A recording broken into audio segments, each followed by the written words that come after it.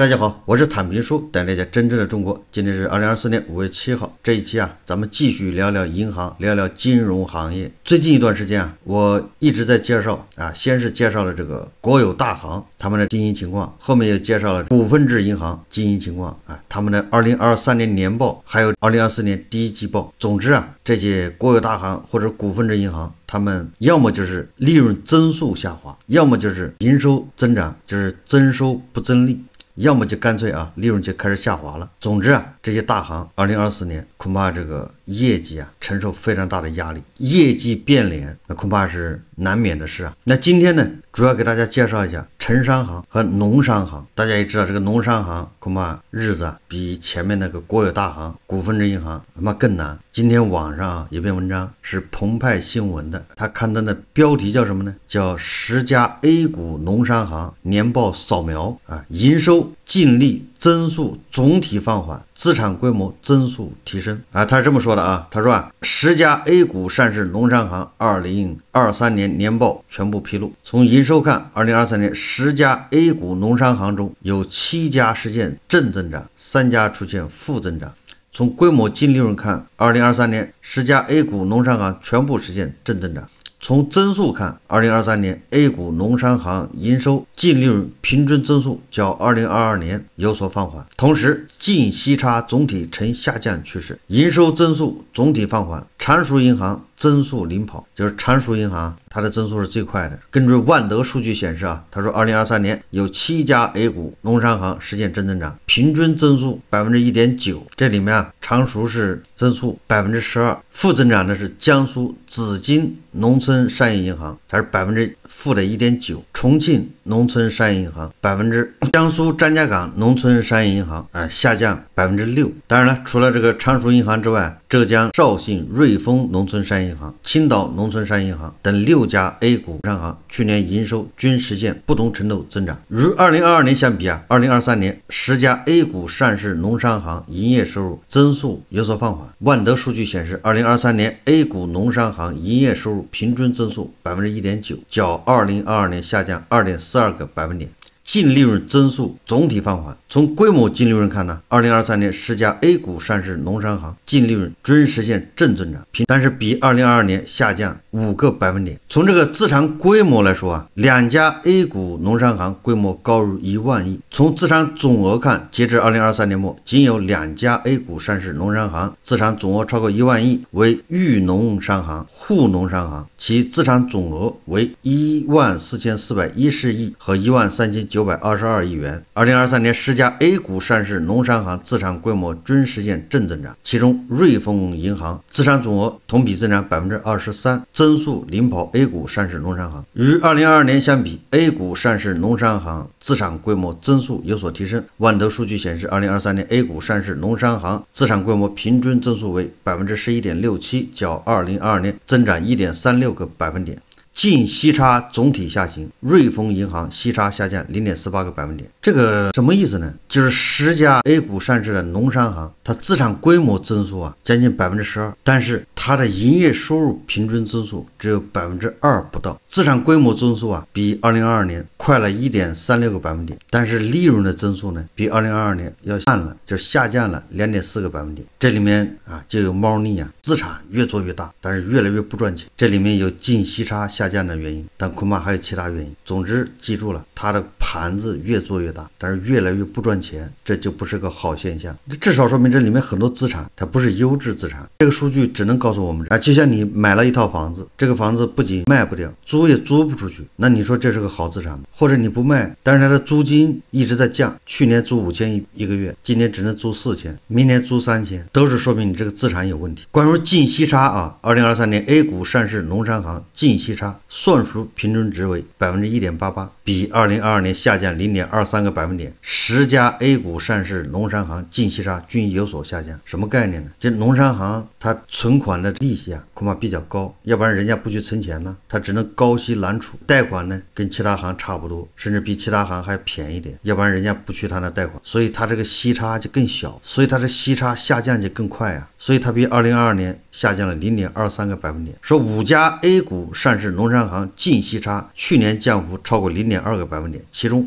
苏农银行。张家港行去年净息差超较二零二二年分别下降零点三个百分点和零点二六个百分点。青农商行、豫农商行去年净息差较二零二二年下降零点二四个百分点。紫金银行去年净息差较零点二二年二零二二年下降零点二一个百分点。还有四家农商行净息差降幅在零点一个百分点到零点二个百分点，哎，为无锡银行、常熟银行、沪农商行、江阴银行。不良率总体下降，七家不良率低于百。分之一。从资产质量看，截至二零二三年末，有七家 A 股上市农商行不良贷款率低于百分之一，其中常熟银行、无锡银行去年末不良贷款率低于百分之零点八，分别为百分之零点七五、百分之零点七九。苏农银行、张家港行、沪农商行、瑞丰银行、江阴银行不良贷款低于百分之一。截至二零二三年末，沪农商行、张家港银行不良贷款有所上升。根据万德数据显示，啊，截至二零二三年末，沪农商行、张家港银行不良贷款率分别是二零。二二年末上升零点零三个百分点，零点零五个百分点。与二零二二年末相比，截至二零二三年末，A 股上市农商行整体不良贷款率有所下降。万德数据显示，截至二零二三年末，十家 A 股上市农商行不良贷款率算属平均值为百分之一点零五，较二零二二年末下降零点零六个百分点。这就是澎湃新闻整理的啊，在 A 股上市的十家农商行，它二零二三年年报。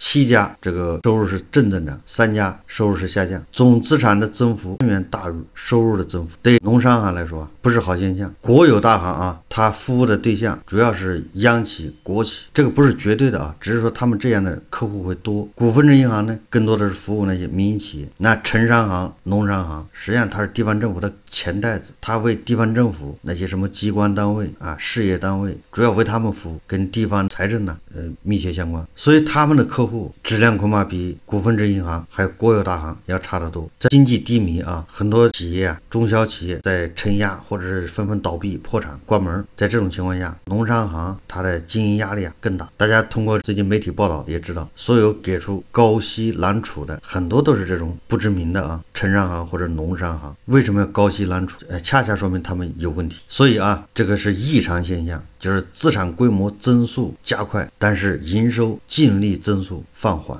摊子越铺越大，收入利润却越来越小。现在金融机构啊，银行都纷纷打响业绩保卫战，因为二零二四年恐怕这个业绩要大变脸。这个我一直说的，一季度啊，银行利润就已经开始下滑了。大家可以看一个视频啊。今年一季度呢，国有和商业大行出现了罕见的利润下滑。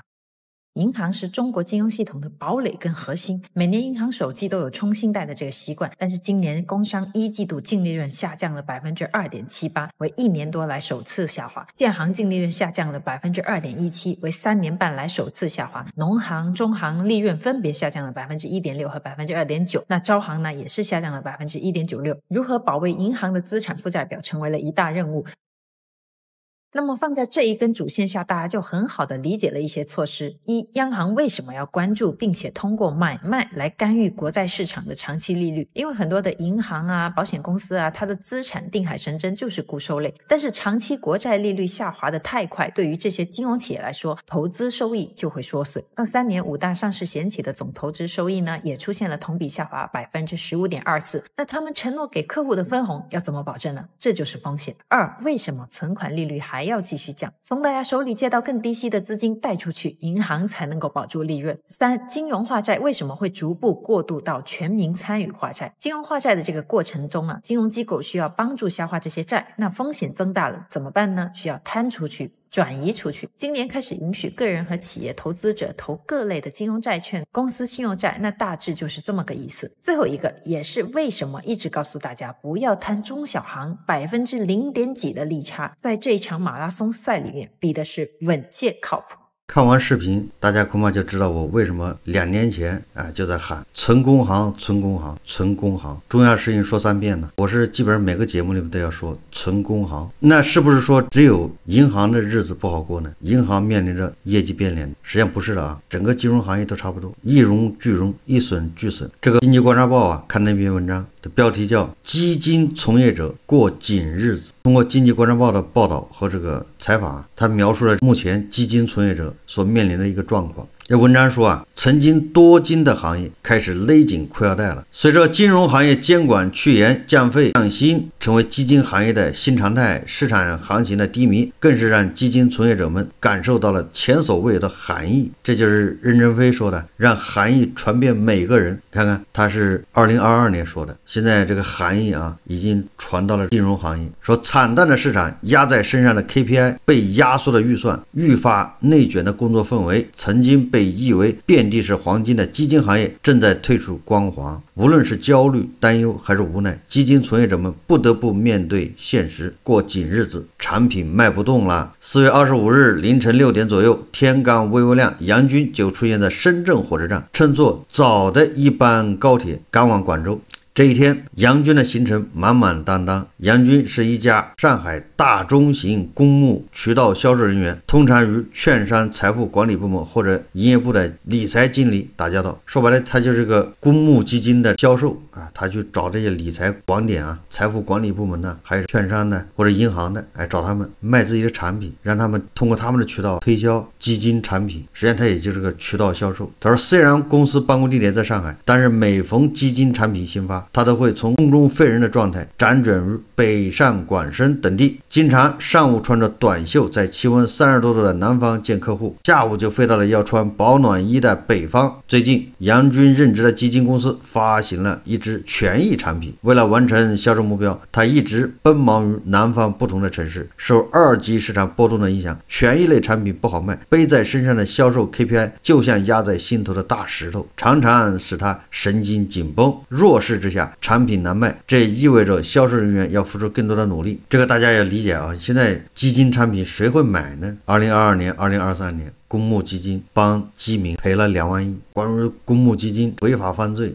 违法乱纪报道特别多，损害基民的利益，而肥了管理公司，甚至肥了个人的口袋腰包，这种事情也常有发生。所以在这种情况下，你说基金产品怎么好卖呢？对基民来说，我有那钱，我还不如自己去玩玩。我给基基金啊，还交管理费啊，结果你把我钱全赔了。连这个胡锡进老师啊，是不是都抱怨了？股市跌成这样，基民损失惨重，但是基金经理个个赚得盆满钵。说从深圳到广州的高铁大约两小时车程，杨军一直坐在电脑前为接下来的客户交流做准备。这一天，他在广州安排了四场线下路演，赶回的间歇还穿插了两场线上交流会。上午跑完两家券商，他在附近的餐馆简单解决午餐，一边吃饭一边电话预约第二天的路演行程。下午再赶去另外两家券商营业部。市场不好，杨军的销售工作难度。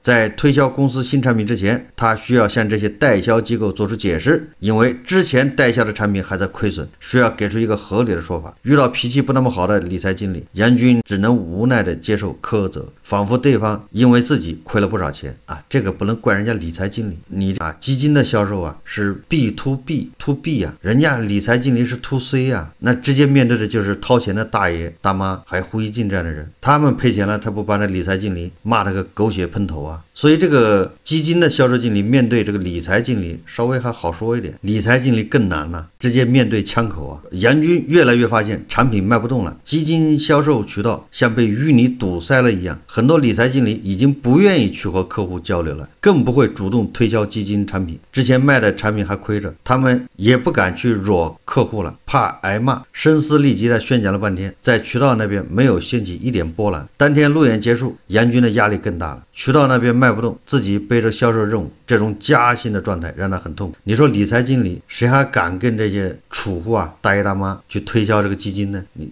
前面推销的基金赔的底掉他，恨不得赔百分之三十五十的。你这个时候理财经理跑去找那些大爷大妈推销。基金产品啊，那不是自找苦吃吗？哪壶不开提哪壶啊，自揭伤疤呀！受 A 股市场震荡走势影响，近两年多数基金经理净利润下滑，权益基金占比较高的基金公司利润降幅更为明显。杨军所任职的基金公司因连续两年利润幅下降，今年员工的底薪、年终奖、福利可能都面临调整。对基金公司来说啊。他只要把产品卖出去就行了，他们是收管理费的。只有这个基金涨了跌了跟他没关系，他只要卖出去，他基金规模有了，他有管理费，管理费是大家的工资和奖金。在行业遭遇寒冬，基金公司面临降本增效的严峻挑战时，杨军和他的同事们心照不宣的自觉节省差旅开销，尽可能的将出差的行程排满，一天内见更多的客户，安排更多场路演，尽可能选择当天最便宜的航班出行，比如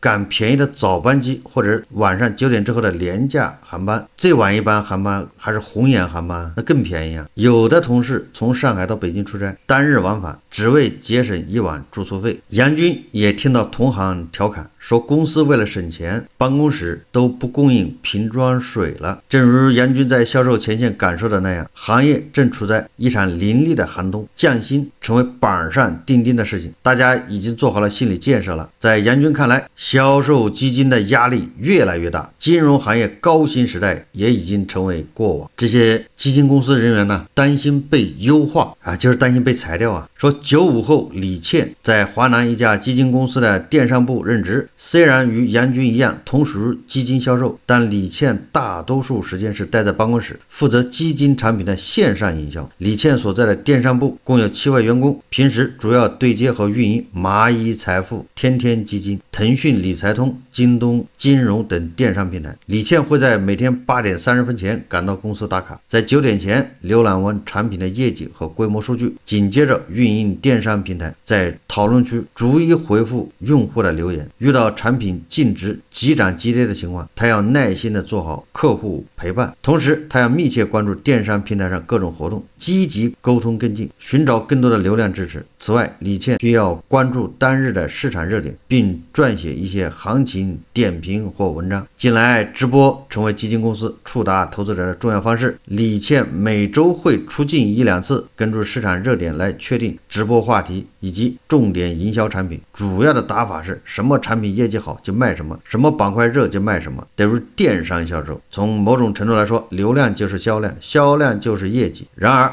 在市场低迷的环境下，流量也难以带来令人满意的销量。年景好的时候，什么都好，随随便便一个首发都能卖大几亿。现在年景不好了，一场直播几个小时下来，往往收效甚微，观看人数和用户增量都出现了明显下滑。所以说，这个电商直播啊，也。效果也不那么明显了。现在一场活动忙下来，也没带来几万元申购。李现说啊，这些变化背后核心因素与市场行情息息相关。过去两年多的大熊市，进场买基金的人大部分遭遇亏损，所以用户增量越来越少。上一轮牛市行情催生的全民买基的热潮退去，这是一个靠天吃饭的职业。李沁重新定义了自己的工作啊！现在他一边要直面业绩压力，一边要扛住领导的质疑，同时还要应对行业内卷带来的焦虑。当前的市场环境中，李倩清楚地认识到加薪已经不可能，她反而有点担心会降薪。公司计划将在五月或六月发放的年终奖已经多次预告要打折。前段时间，李倩所在的部门有一位同事离职，公司一直没有新招，导致多出来的工作量落在了其他同事身上。公司虽然没有裁员，但那份悄然间弥漫的精简人员的气息，让每个人感受到了无形的压力。不知道什么时候我可能就被优化掉了。紧凑的工作间隙，李倩时不时生出这样的担忧。你看，现在都担心自己被优化，就是被裁掉，部门预算被砍掉。刘文是华北地区一家基金公司。的营销策划总监主要负责公司品牌推广与营销策略的制定，同时他也时刻关注市场趋势的变化，以便及时调整营销计划。二零二三年七月，证监会发布实施了公募基金行业费率改革工作方案，启动公募基金行业费率改革工作，按照管理人、证券公司、销售机构路径，分三个阶段稳步降低公募行业综合费率。新政之下，基金管理费用下调，市场持续。以及监管日益严格，给刘文的工作带来了前所未有的挑战。受到管理费用下调的影响，刘文所在的公司自年初以来多次召开会议，重点讨论重新优化资源和降本增效。公司决定做出一些调整，包括减少在非核心业务上的开支。特别是削减了品牌宣传方面的预算。刘文负责的部门的年度预算被砍掉，管理费用的下调，直接影响了我们运营资金可用于品牌推广的预算。今年公司年度预算宣传比去年减少大约百分之二十。刘文称啊，公司更多的将预算放在可量化考核的电商渠道。在降本增效的大方针下，刘文带领团队增加了对数字营销的投入，减少了昂贵的传统广告支出。他关注到同行也在缩减营销预算，最直观的一个表现是地铁里的基金广告变少了。去年权益市场波动加大，刘文在第三季度就已经开始调整营销策略，减少了对大型宣传活动的投入，转而利用数字营销和社交媒体增强客户互动。为了降本增效，刘文所在的公司重新评估和精简人员配置。今年，该公司已经合并了一些职能中重叠的岗位，这意味着现有的员工需要承担更多职责。